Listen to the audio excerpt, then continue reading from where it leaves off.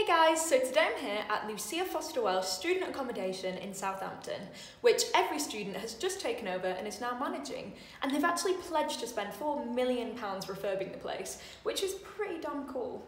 So, first off, let's talk money. So, it's £85 a week for a room here, but that's with everything included.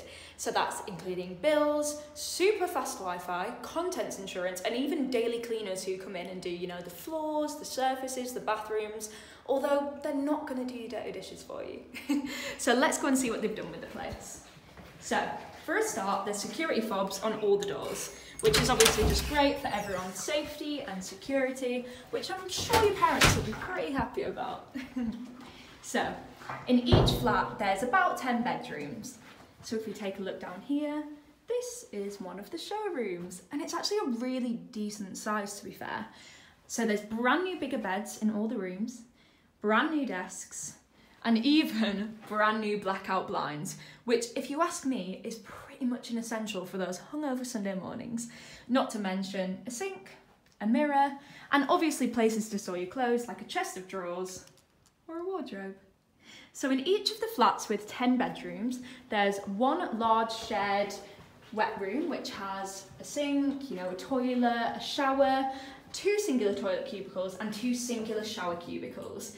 And obviously that's probably more than you would have if you were privately renting, you know, a house share of a landlord between you, which is great. Not to mention, all of the showers and toilets are brand new, so no more slightly too hot or slightly too cold showers. Let's take a look in the kitchen living area.